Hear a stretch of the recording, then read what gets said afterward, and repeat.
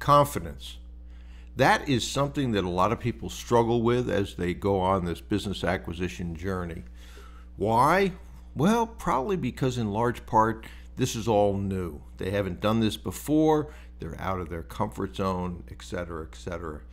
But it's super important when you're interacting with board members, financial institutions, professionals, accounting and law firms, and prospects that you come across as confidence. So, how do you do that? Certainly, is a question.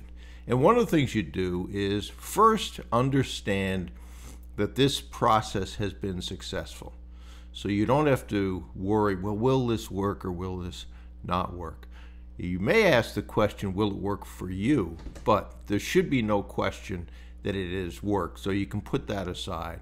The other thing that a lot of people don't realize is you can't focus on two things at the same time. If you stub your toe and your toe hurts and then you hit your hand with a hammer, guess what? Your hand is the one that you're going to pay attention to, and you pretty well forget about the toe. So, same thing is true in all aspects of concentration.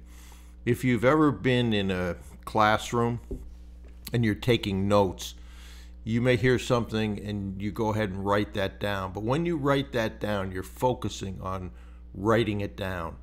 And although you may be cycling back and forth to what the speaker is saying pretty quickly, you really are missing an awful lot of that discussion.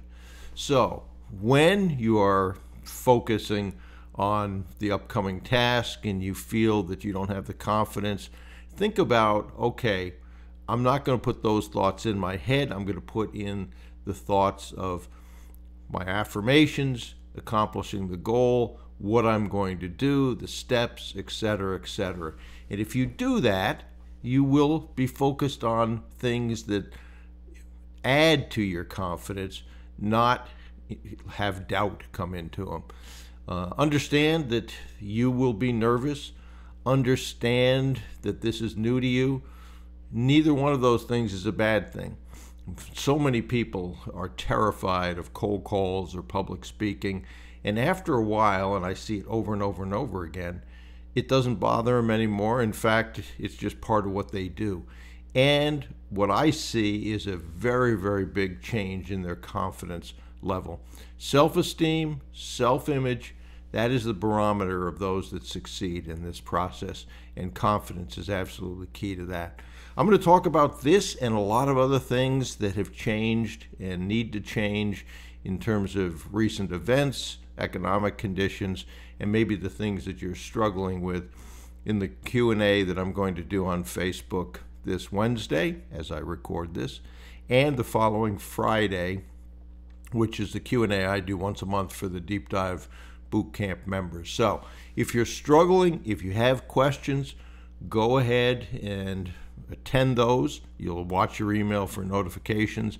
And then if there's specific areas like mindset, um, go over to brucewhipple.com, take a look at the boot camps and courses, and there are several there I think that would help you if you're struggling.